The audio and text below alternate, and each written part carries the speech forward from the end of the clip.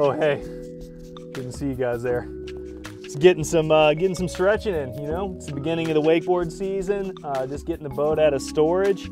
Um, super important to uh, make sure you're getting some stretching in before uh, before you get out there for your first ride. So I'm just getting some in. What's going on everyone? Trevor Hansen here with the Wake Channel. It's almost summertime. Everyone's getting their boats pulled out of storage, back in the water, and ready for those first couple of rides of the season. Uh, something that I definitely recommend you doing uh, when you go to take your first set is let's get some stretching in. Um, everyone needs to get warmed up, get the body flowing a little bit before you get out on the water. Uh, a lot of us have spent time in the gym in the off season, but it's super important to remember to get the muscles ready to go right before you hop on the water. There's a lot of different stretches that you can do. Some of the areas that you really want to stretch are your knees, ankles, and hips. Uh, definitely some of the shoulders as well. Um, this is a lizard pose. You get that back leg behind you, get that front leg at a 90 and just kind of lean forward, um, pushing your knee out and pushing this leg down.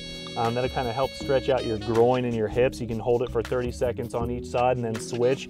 That's one of my favorites.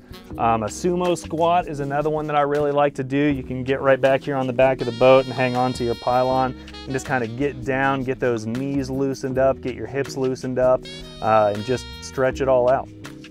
You can actually use some of your boating equipment too to help you stretch. If you swivel the rack in like this, or even if you can hang on to the tower, a simple dive through stretch, keeping your arms straight, just letting your head hang low in between your arms and just kind of let your shoulders relax. That'll really stretch your shoulders and your upper back. Another easy one to do is just get a little hamstring stretch. Just put your leg up on top of one of the gunnels or seats. Get that leg straight and just lean forward. If you can reach down and grab your toes, that's nice. Just hits the whole back side of the leg. Keep both those legs straight. As you can tell from my examples, I'm definitely not a professional yogi. Um, I'm not a yoga artist, but I still get the benefits of the stretches. Uh, it's something that you want to do before you go out and ride, get the blood flowing, get the knees, hips, shoulders, and ankles all loosened up before you get out there. It'll really help you throughout the season. Stay healthy, prevent those injuries.